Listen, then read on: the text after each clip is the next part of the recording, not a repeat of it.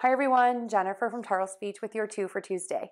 Our words today are collar, a band on a shirt, and caller, a person who visits or calls you on the phone. Both of these words are pronounced exactly the same.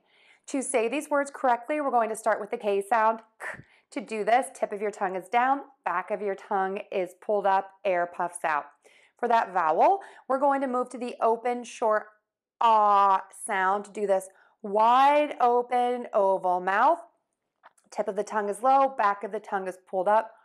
Ah.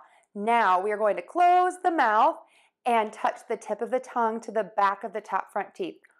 Oh. And then move the tongue away from the teeth. We are no longer going to touch the teeth for that er sound at the end. Think square tense lips. Again, tip of the tongue can either point down or flip back, and the back of the tongue will be pulled up.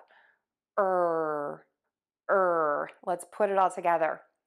Call, er, call, er. Caller, collar, collar, collar, collar, collar. And for a sentence, the jolly man with the fur collar on his red coat is a frequent caller on Christmas Eve.